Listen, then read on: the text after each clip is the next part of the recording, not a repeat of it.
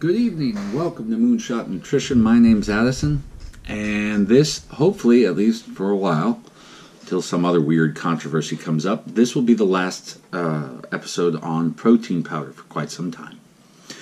The last thing I wanted to talk to you tonight is about the concept of undenatured whey. Now, for those of you that don't care, skip this video. If you're already watching and you don't care, skip this video.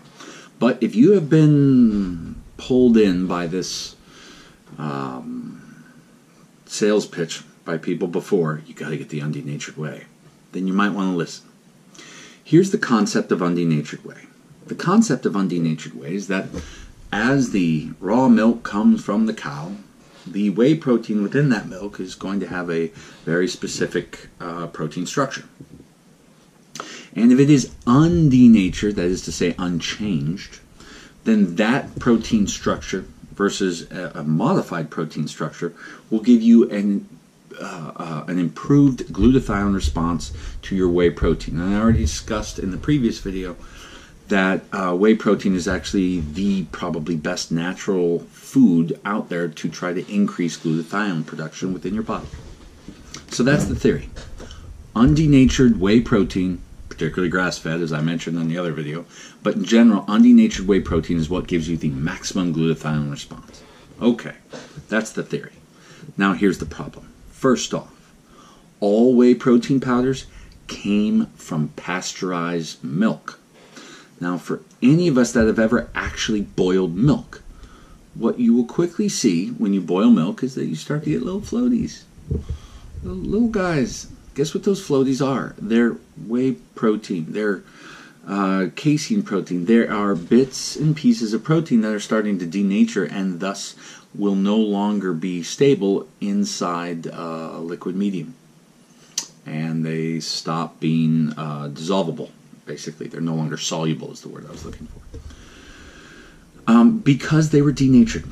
Okay, and just because they're no longer, even if they're still soluble, there's still a good chance they were denatured. And when you pasteurize milk, you take milk to a temperature that's beyond the boiling point.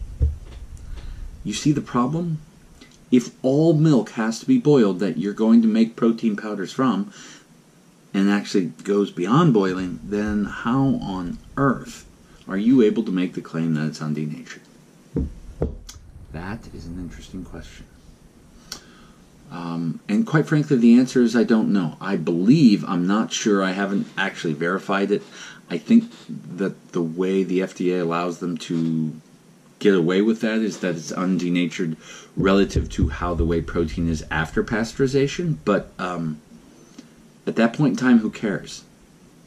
We don't know how much it got modified from the original thing, so not really undenatured at all. And then there's also some questions about whether or not it gets denatured in the, the secondary process it goes through in order to um, separate the whey protein from the other things in there, which is it's called cross flow filtration, ultra cross flow filtration. Other groups will talk about ion exchange.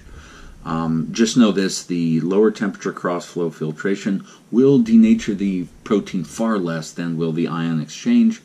Um, but even the low temperature cross flow filtration, by the way, it's just basically a screen with really, really, really small holes. Whey goes through, the other stuff doesn't. Under pressure, because it's under pressure, you can still damage and change the proteins. Um, so, needless to say, it, it, it's kind of weird undenatured protein, I'm not sure how they get away with it. Uh, because I know that if you take the protein found in raw cow's milk and heat it past boiling, you're going to start denaturing it. Feel free to do your own research here. I guarantee you, you're denaturing it. So I really don't know how they get away with saying it. Uh, secondly, as I've mentioned in the previous video, because all of this is in the name of producing more glutathione, um, because glutathione is just the cysteine, glutamine, and glycine, three simple amino acids, um, one has to ask yourself if your digestive system is built to rip proteins apart, which is exactly what it's designed to do, using pepsin, trypsin, and chymotrypsin enzymes that'll do exactly that, into little di and tripeptides, then why would it matter what the overall three dimensional larger structure of the protein is if all your body's going to do is tear it apart anyway. Doesn't really make a lot of sense, does it? Um, I've never seen anybody answer this question adequately either. Again, we're just supposed to take it on fact, on faith, I guess, that it produces this larger glutathione response, even though we know that whether it's denatured or not, whether it's grass fed or not, um, it's the same amino acids in there. Um, again, it's, yeah, weird.